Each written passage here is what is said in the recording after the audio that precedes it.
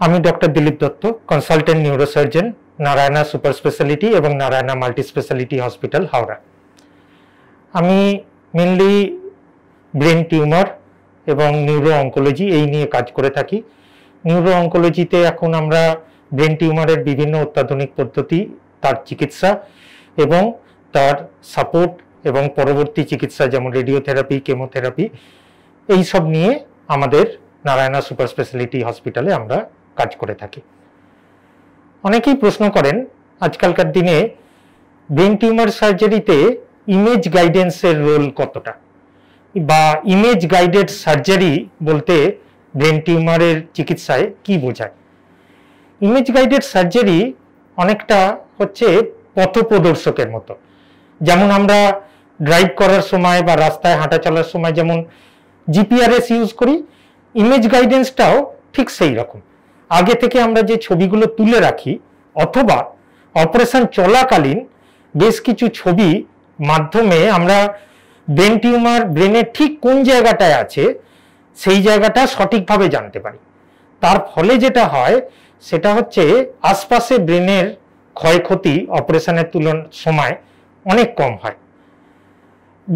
Image guided surgery mainly stereotaxy যেগুলো আগে থেকে যে সিটি স্ক্যান বা এমআরআই তুলে রাখা হয় সেই স্ক্যানের উপরে বেস করে আমাদেরকে পথ প্রদর্শন করে, অথবা real time image guided surgery যেটা আমরা ব্যবহার করি, সেটা হচ্ছে আলট্রাসাউন্ড বেসড মানে অপারেশন চলাকালীন আমরা ব্রেনের মধ্যে আলট্রাসাউন্ড করি।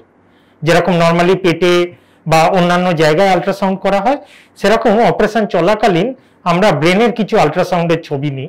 এবং তাতে আমরা বুঝতে পারি ব্রেনের টিউমারটা ঠিক কোন জায়গায় আছে, তার আশেপাশে দরকারি কি কি ইলেকোয়েন্ট এরিয়াস আছে, বা কোনো ভেসেল মানে শিরা, ধমনী এগুলো আছে কিনা, এবং টিউমার অপারেশন করার পরে কতটা টিউমার অপারেশন করে বার করা গেল, বা কোনো টিউমারের অংশ বেঁচে থাকল কিনা, বা থেকে গেল কিনা, সেটাও আমরা সঠিকভাবে জানতে পারি।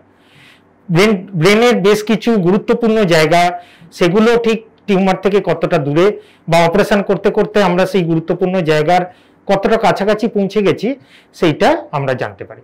এর ফলে যেটা হয়েছে, সেটা হচ্ছে ইমেজ গাইডেন্সের ফলে আমাদের এখনকার ব্রেন টিউমার সার্জারি কিন্তু অনেক সেফ এবং টিউমারের অনেকটা অংশ কিন্তু আমরা কেটে বার করতে পারি।